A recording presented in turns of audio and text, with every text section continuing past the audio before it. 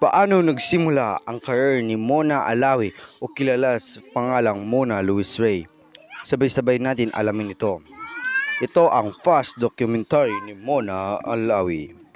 Si Mona ay isang kilalang vlogger ngayon at nagsimula siya sa showbiz world noong 2011. At ang unang teleserye niya ay Munteng Heredera noong 2011 kung saan ang karakter niya ay si Jennifer. Sinundan ito ng Luna Blanca noong 2012. Kasama niya dito si Jillian Ward at ang karakter niya ay si Blanca.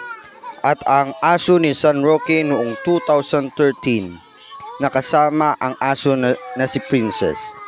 At siya dito ay si Fatima.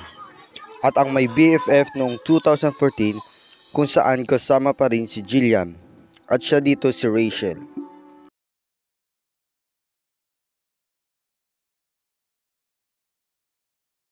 at nagpa-extra-extra sa Dear Ugi noong 2017.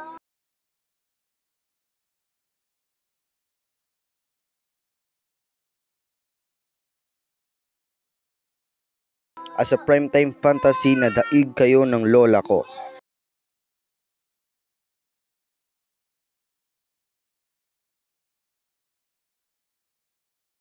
At meron din siyang sariling commercial na Downy noong 2013. Ngayon ay tumigil na siya sa pag-arte dahil artista at vlogger na rin ang kanyang ate na si Ivana Alawi at nag-home study siya ngayon.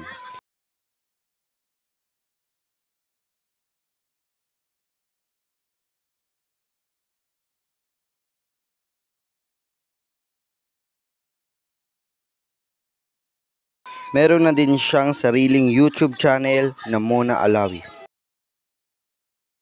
At tungkol sa kanyang life happening ang kanyang pinupost dito. So paano po? Dito na lang tayo titigil sa ating fast documentary ni Mona Alawi. Hanggang sa susunod ulit dito sa Life of Celebrity.